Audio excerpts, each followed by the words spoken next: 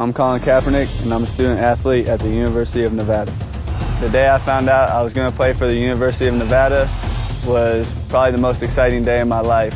Playing for the Wolfpack is the greatest thing someone could ask for. It's very family oriented, and I love being here.